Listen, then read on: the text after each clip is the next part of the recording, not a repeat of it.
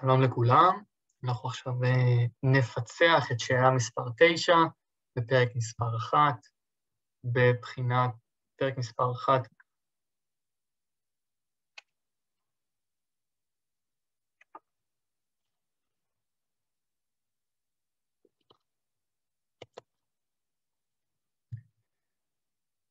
שלום לכולם, אנחנו עכשיו ניגש לפצח את שאלה מספר 9 בפרק מספר 1, בחורף 2020, מועד דצמבר 20. בואו נראה מה יש לנו כאן.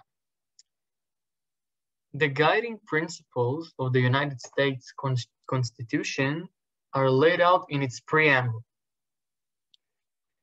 The guiding principles זה בעצם העקרונות המנחים של החוקה, אוקיי? חוקה אמריקאית, Constitution זה אומר חוקה, are laid out מה זה laid out? זה מפורטים. מפורטים in its preamble. אנחנו לא בטוחים מה זה preamble, אבל אפשר לנחש מהקידומת pre, okay, אוקיי? מהתחילית pre, זה אומר pre-order, pre-zer, זה בעצם לפני, אוקיי? Okay? אם אני מזמין משהו לפני, אז אני, הוא, הוא בא קודם, אני מזמין אותו קודם. אז זה בעצם אנחנו יכולים לשער שזה הקדמה, וזה משהו שלפני, אמ, והפירוש של preamble זה מבוא, אוקיי? מבוא, הקדמה. אוקיי? עכשיו בואו ניגש לתשובות. The United States Constitution consists of a preamble and, and a list of guiding principles. And a list of guiding principles. יש לנו פה את מילת הוספה, מילת קישור הוספה? לא. אז יש לנו פה בעצם changes, אוקיי? Okay? changes. מסיח changes, ולכן אפשר לפסול את תשובה מספר אחת. The preamble to the United States Constitution, ההקדמה לחוקה האמריקאית, explains how the country came into being. ההקדמה לחוקה האמריקאית מסבירה איך המדינה נוצרה? לא, מדברים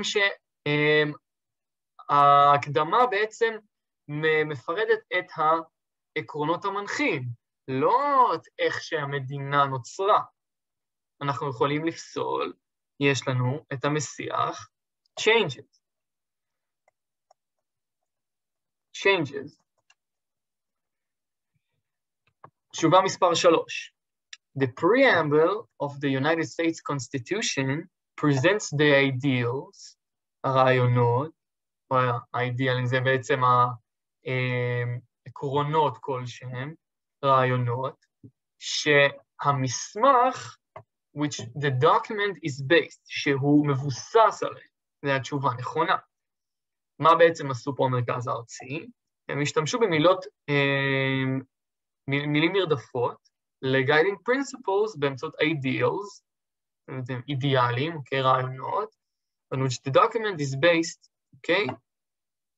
ולכן זו התשובה שמתאימה לי. בואו נלך לתשובה מספר 4. The United States Constitution was drafted well before the preamble was written. Before, דיבר, דיברו איתנו בכלל על זמנים, מה לפני, מה אחרי? לא.